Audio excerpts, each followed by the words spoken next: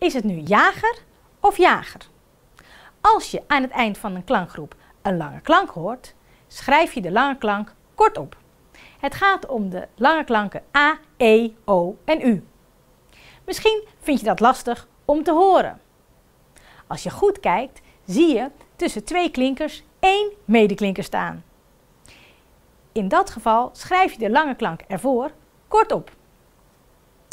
Bij het woordje bootje, als je die in klankgroepen verdeelt, hoor je aan het eind van de eerste klankgroep een t. In dat geval schrijf je het woord zoals je het hoort.